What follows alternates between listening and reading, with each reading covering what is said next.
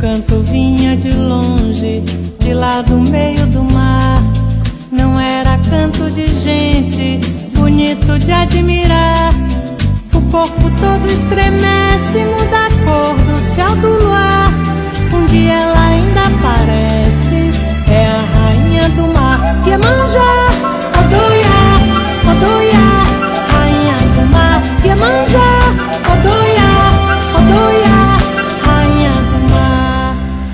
ouve desde menino aprende a acreditar que o vento sopra o destino pelos caminhos do mar.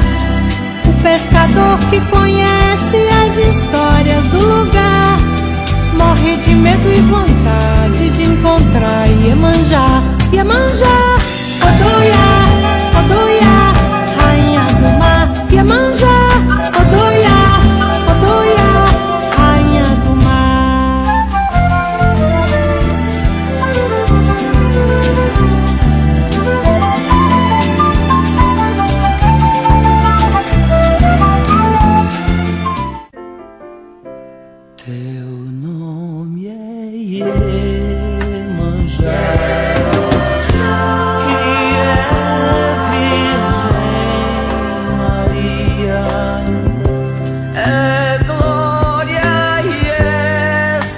Cecília